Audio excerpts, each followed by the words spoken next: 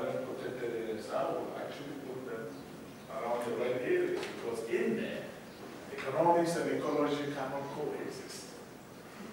You know I'm quoting here, paraphrasing? George Bush himself. You haven't seen this quote? He says, I know that man and fish can coexist. George Bush, man and fish can coexist. They cannot coexist there in the red areas because the economics and the ecology don't match. But in the blue areas, you can. Or if you just have a small budget to spend for your management, the red areas are where you should concentrate, right? According to this, uh, this measure of ecology and economics. All right? So that's uh, one. Now, to achieve sustainability, second point, it is crucial to give attention to how social change shapes the environment and how the environment changes or shape society, because it's not a one-way traffic. The impact on it impacts on us.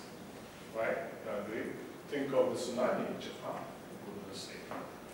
Question is, what did we do? What did the Japanese do? What did the world do, if any, because we are not sure, that led to the tsunami?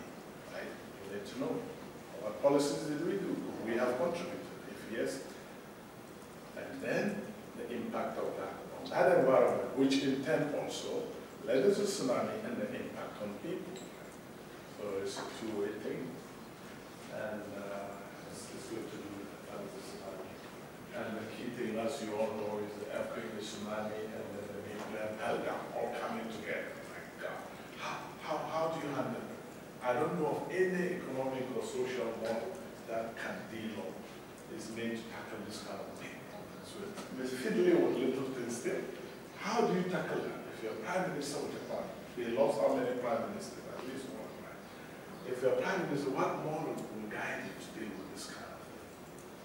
Yet to be developed. The recent flood in Bangkok, this didn't uh, get a lot of uh, attention. I was surprised about a million people were moved because of flooding in 2010 and the prohibition of fisheries subsidies by government. So when the government says, okay, we want to employ people, we want to keep our fishers busy, so we give you subsidies, free money, huh, to keep you afloat. What are the consequences of that? You know? That's okay, they get the money, they're happy this year, how about next year, how about the year before, how will we do? And, and so it's important to think of these things when you, when you, do things. About the subsidies thing, just to give you some numbers in Nigeria, this is our latest estimate of the total amount of dollars being paid out by governments around the world to the fishing sector. And uh, we're talking about about $27 billion a year, 27 billion. This is an industry that brings in about 80 billion total revenue. So 27 government money, 80 billion total revenue. 30, 35 percent is actually government subsidies. A few years ago, I did a little paper for a magazine in India, and the title is The Fish Call Subsidies, right? That is what I was alluding to. A third of your fish is subsidies.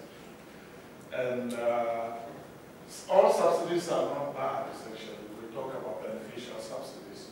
And remember, what I define this is in, is in terms of what the subsidy does to the fish. I'm not talking about social or other things.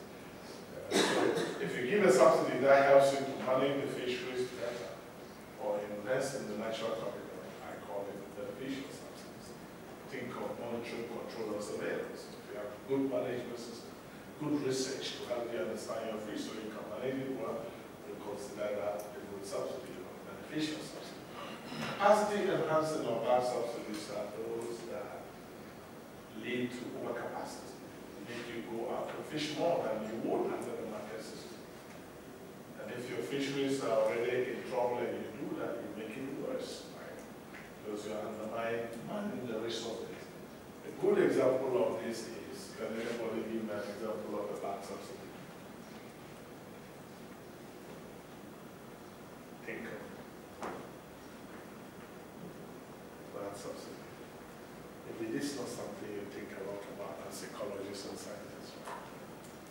Well, I would say financing the tuna industry right now by a a fleet of new tuna fishing boats. Yeah, yeah. And some governments do, do that actually. They give you soft loans or something to buy new boats, stronger engines, that is something. Bigger nets. Yeah. Or they give you money to fuel your, your, your, your boats. Remember two thousand and eight when fuel prices were going up? Governments were giving out Malaysia. In Europe, you know the demonstration, huh? In, in Brussels, pouring paint on doors of officials. They quickly give them more billions, right?